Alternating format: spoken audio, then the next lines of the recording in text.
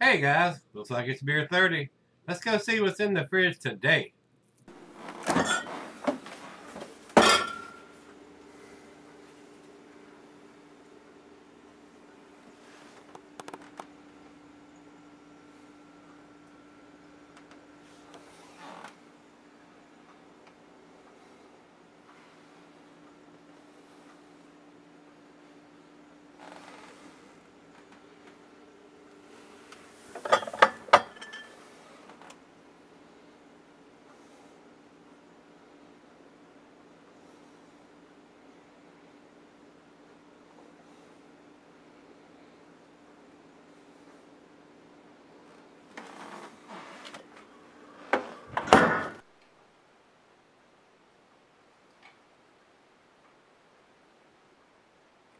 Hey everybody, thanks for stopping by Greg's Beer Reviews today.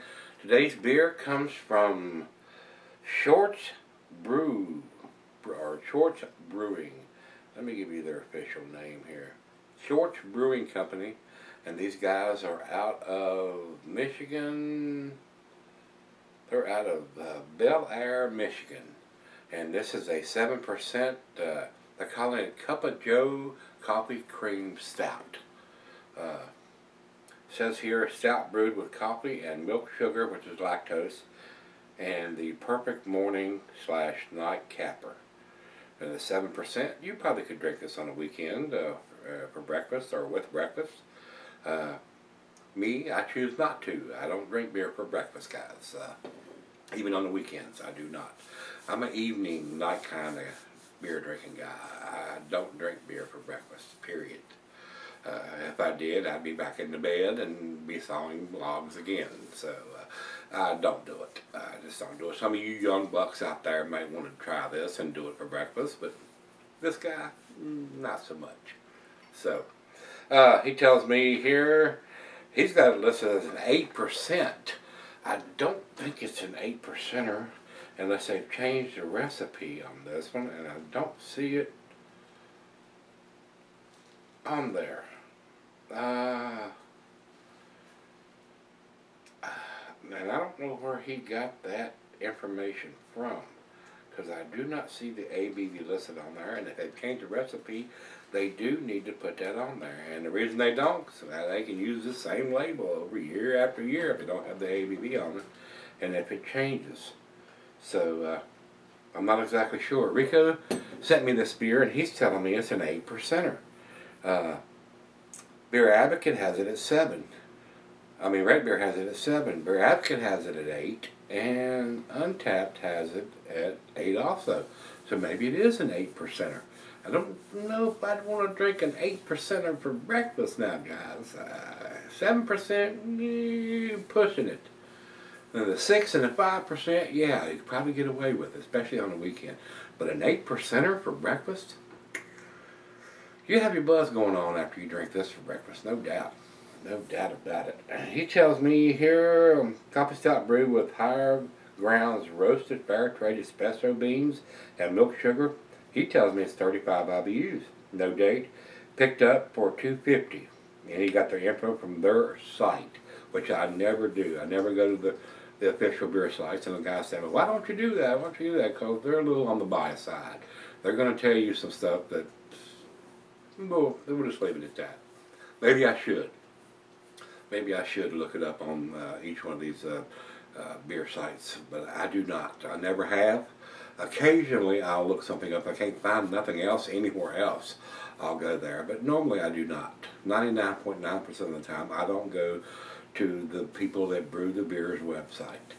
And maybe that'll change down the road. I'm not exactly sure. Uh, we'll see what happens with that, guys. So. Uh, and they're telling me here on Untappd it's 35 IBUs, where, uh, and that's very low.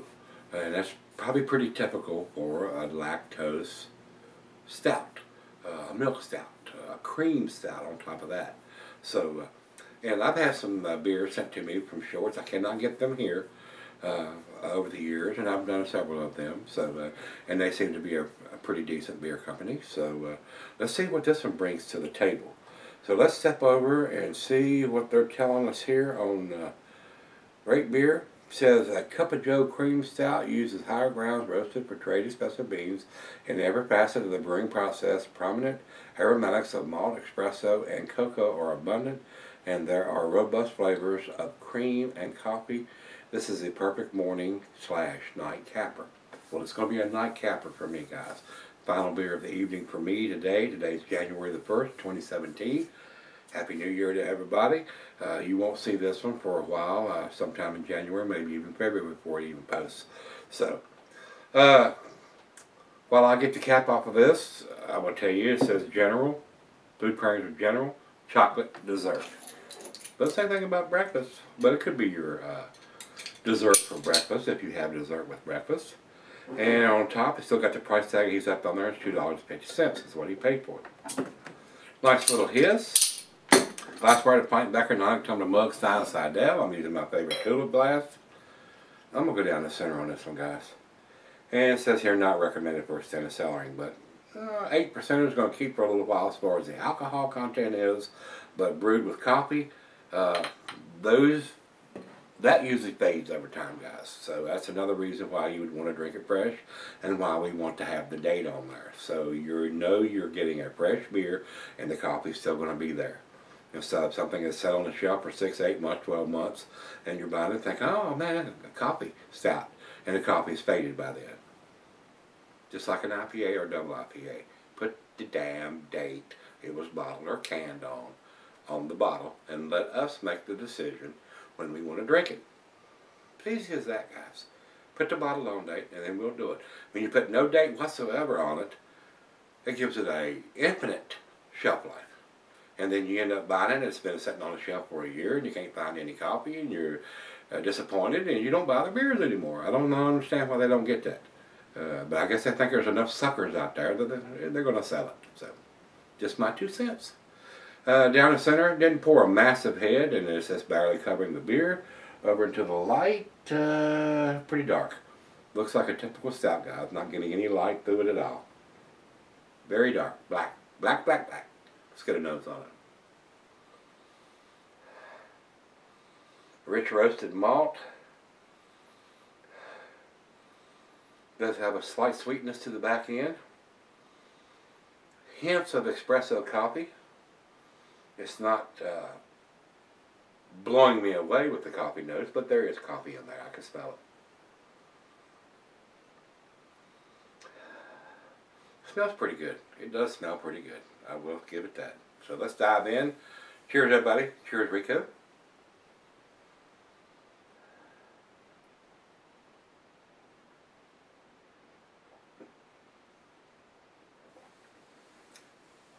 Now on the taste guide, the coffee is there. Front seat, the whole front seat. It's driving the bus. Big coffee notes.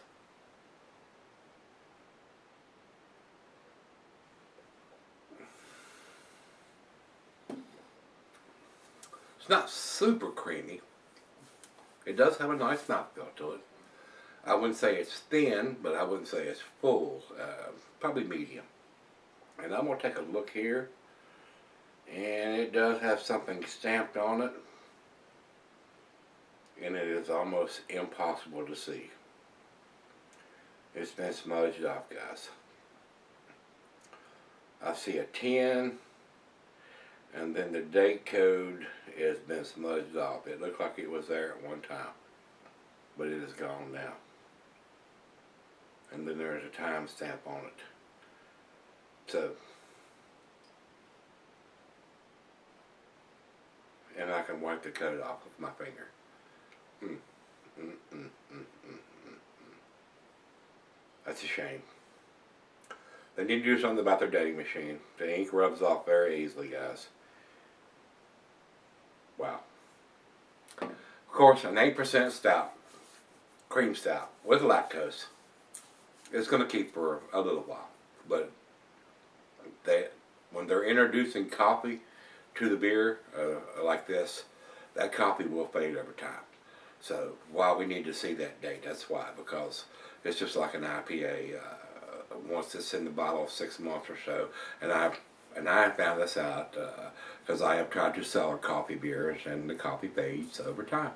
Uh, if you drink one fresh, you're going to get a lot more coffee and uh, than one that's been in the bottle six, eight, twelve months. So uh, that is one of the things that fades over time. If it didn't have coffee in it, an eight percent stout, this this beer would keep three, five, even ten years. But with being brewed with coffee and you're wanting to taste that coffee, uh, you need to drink it pretty quick. So uh, the coffee doesn't fade. You get that full espresso. That's what they use on those espresso beans. Now, if you're not a big coffee fan, you're probably not going to like this. There's a lot of people that aren't coffee fans. That doesn't care for it, even though they're stout fans. They're just not coffee fans. So, uh, this depends on what you're after there. Uh, if, if you don't like if you don't like coffee, but you're a stout fan, throw it in the cellar for a while. Keep it for a year or so, and those coffee notes will subside a little bit. Uh, they won't be quite as prominent uh, as they are when the beer is fresh. So. Well, let's right out of the fridge. Let's take it back and let her taste it and see what she thinks of it and uh, sip on it for a little while and see what we end up with. I'll be right back. Alright guys, I'm back. Got a little bit left here. Been sipping on about 30 minutes or so. Very tasty. Very tasty, very well done beer. The only fuss I've got about this is uh, that easy smeared off date that they're using on their uh, bottles here. And it was smeared off very easy. I could rub it off with my finger. Uh, so if it's been handled or anything like that, uh, good chances are you're not going to be able to see the date on it. And if they want to use these labels over, they could very easily have their dating machine printed on the label instead of on the on the bottle where it can be smeared off. So uh, that's the only fuss I got about this beer. It's a very nice, it's a very creamy beer. It's not super creamy, but uh, it does have a nice medium mouthfeel to it. Uh, I am getting the lactose. It has a nice sweetness to the back end. Uh, I am getting the espresso coffee in this. Uh, another reason to have a, a legible date uh, that was put on there when it was bottled instead of an enjoy by or best by date uh, that a lot of the breweries are using. So and if it, the recipe changes uh, and they want to use the same label over and over from year to year, and they don't want to put the ABV on there, they could just easily put 8% and just put the month and the year on there, not the date. The date is not, it's not critical for this style of beer. They can put 8%, 10, 15. That would tell us it's an 8 percenter and what month and year that it was put in the bottle. Just my two cents, guys. So uh, let's do the final chug here wonderful aroma. The alcohol is very well hidden. It's a rare, it's a it's a very well made beer. It is. Very tasty. A great beer for the final beer of the evening, which it is for me. Final chug.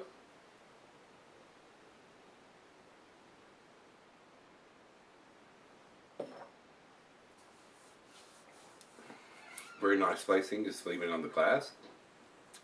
A very tasty beer, guys. Uh, in my opinion, with the date being so easily smudged off and not having an ABV on it anywhere. Uh, I do think it's an A beer, but those two things kind of cut it down a notch or two. So I'm gonna give this an eight, which is an A minus. Uh, numeric rate on this guys would be a 90 for me. Uh, it is a tasty beer though. It is. It's very well. Don't know if I'd want to drink this for breakfast though. Eight percent. Alcohol's very well hidden. Uh, if you do drink it for breakfast, do it on the weekend when you're not working eight percenter. You go into work drinking this during the week, you might give him a little bit of trouble there. So, uh, let's go over to Beer Advocate. Beer Advocate says it is 90 in their outstanding range. That's exactly where I would put it, uh, at the 90.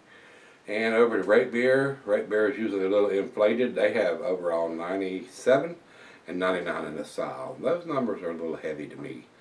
And for our final check-in, we'll run over to Untappd. Untappd has it at 4.93, which is at the very tip top of their B plus, as far as I'm uh, I'm concerned. So uh, I don't consider it an A beer on Untappd till it gets to the four range. So uh, very tasty. I enjoyed it. A great beer uh, for a final beer of the evening. So if you've had this one from uh, Shorts Brewing Company, this is their Cup of Joe Coffee Cream Stout. Uh, let me know what you think, guys. Come on back tomorrow. Let's dig something out of that fridge. See you then.